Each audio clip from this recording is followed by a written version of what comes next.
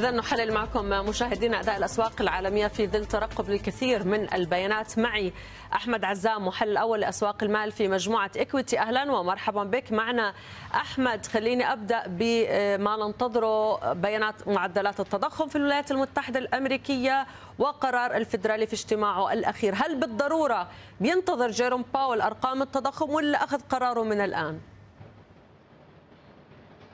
آه، صباح الخير رولا آه، جيرام باويل أخذ قرار بكل تأكيد آه، مسبقا وسابقا. في الاجتماعات الأخيرة كنا نلاحظ المصطلح الذي يردده جيرام باويل بأن الاعتماد على الأرقام الاقتصادية، لو نظرنا إلى الأرقام الاقتصادية الأخيرة وحتى ما هو متوقع بالنسبة للتضخم في قراءة اليوم بكل تأكيد هي قراءة قد تكون ناعمة. 3.2% إلى 3.1% هي قراءة باردة ما يحتاجه الفدرالي الأمريكي، لكن عندما ننظر إلى التضخم الأساسي لا يزال عند مستويات ال 4% بالرغم من أن أيضا حتى الضاغط الأساسي على القراءة التي قد تسجل الانخفاضات إلى 3.1% وهو النفط يسجل انخفاضات، فبالتالي قد تكون المبرر الأساسي انخفاضات النفط للدفع بأرقام التضخم. بكل تأكيد أيضا الطلب العالمي هو أساس أيضا بانخفاضات التضخم، لكن عندما ننظر إلى قراءة التضخم لا أعتقد أنها قد تكون مبرر أو مسوغ للفدرالي الأمريكي للتوجه لحتى للإشارة إلى إمكانية تخفيض أسعار الفائدة قريبا إلا إذا أشار بالمخطط النقطي الدوت بلوت الذي يصوت عليه الأعضاء. إشارة قد تكون آه، إشارة استباقية بأن الربع الثاني لعام 2024 قد تكون هي بدء عمليات تخفيض أسعار الفائدة بناء على توقعات أعضاء الفدرالي الأمريكي. أود أن أذكر هنا رولا بأن آه، قرارات الفدرالي الأمريكي تكون هي رد فعل على البيانات الاقتصادية بينما ما يتوقع الأسواق من تخفيض أسعار الفائدة في شهر 3 2024 هي حالة استباقية. نعم.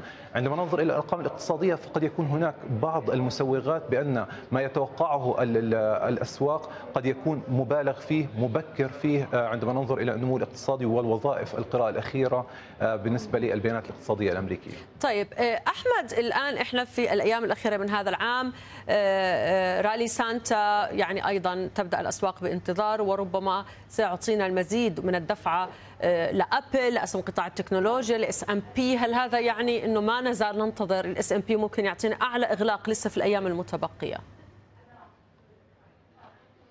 نعم رولا نحن بالمؤشرات الأساسية الأمريكية S&P 500 داو جونز تحديدا ناسداك قرابه ال record التاريخي أو أعلى أسعار أعلى أسعار تاريخيا. آه، Santa Claus rally واحد من الأسباب الأساسية التي قد تعطي مشاعر بالنسبة للمستثمرين بدفع الأسهم. شهر ديسمبر آه، وهو آه، الشهر الذي يسبق الانتخابات الأمريكية دائما ما يكون الأفضل أداء بالنسبة للأشهر ما نطلع عليه المؤشرات الأمريكية. الأسعار أو تخفيض أسعار الفائدة المشاعر التي تجول في الأسواق في الفترة الأخيرة بأن إمكانية تخفيض أسعار الفائدة جميعها داعمه دائما بالنسبة للأسهم.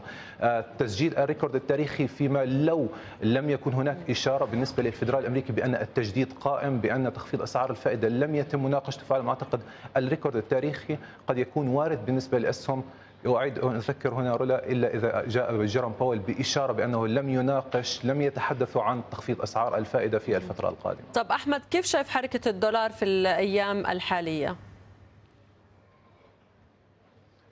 152 مؤشر الدولار الأمريكي هو يعتبر دعم قوي جدا في الفترة القادمة رولا ثبات التداولات في الفترة الماضية. إشارة جيدة آه، الاطلاع على العقود الآجلة بالنسبة لمؤشر الدولار الأمريكي ارتفاع بالنسبة للطلب في الفترة الماضية. هي إشارات بأن السبورت أو الدعم قوي جدا.